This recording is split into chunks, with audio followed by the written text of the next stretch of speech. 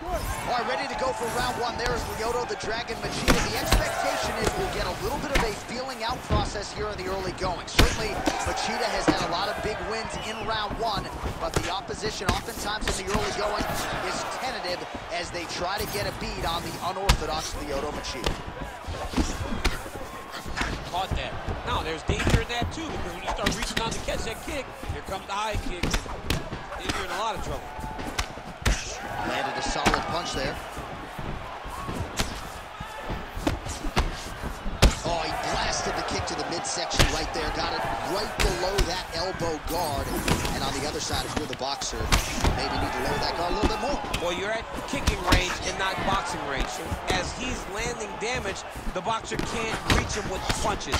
It's beautiful, and it shows how hard they worked in building this game plan and this approach that has allowed for him to jump out in front. Walker gets tagged by that stiff jab. Defense not there for him thus far tonight. Oh, he hurt him bad with the jab. Oh, a nice straight punch there to his opponent, and he lands it just after catching the leg. So clearly... How's this opponent still I mean, I have no idea. It might not be over now, but it's gonna be over very soon. That was lightning fast, that right hand.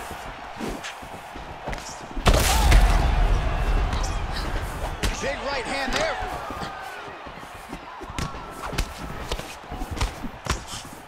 All right, well, he rocked him pretty good, but he didn't sort of smell blood in the water, and now his opponent's back in. I mean, blood's in the water. You gotta go and get it. You gotta go find the finish. You cannot let him off the hook like that because now he will be motivated to try to go and hurt you as you hurt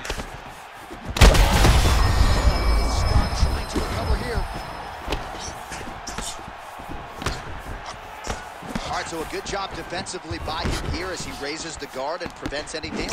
Shades of James Toney. Always seeing things coming at him. He's such a great defensive fighter. Oh, he lands another strike to the body, really starting to... Beautiful diving strike lands. He's brutalizing him with the ground and pound. This fight is close to being done.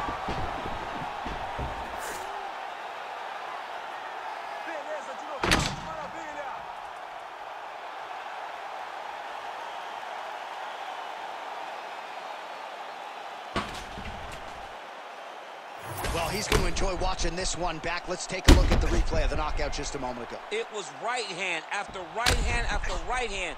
Finally, he found the one that hit the exact sweet spot that ended his opponent's night.